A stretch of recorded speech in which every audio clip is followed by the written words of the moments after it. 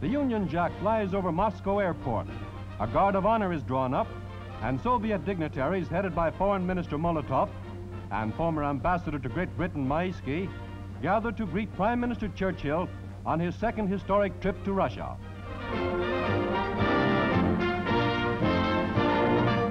Foreign Minister Anthony Eden accompanies the Prime Minister to discuss with Marshal Stalin Europe's many problems of the post-war era. Churchill, master diplomat, is seeking the answers.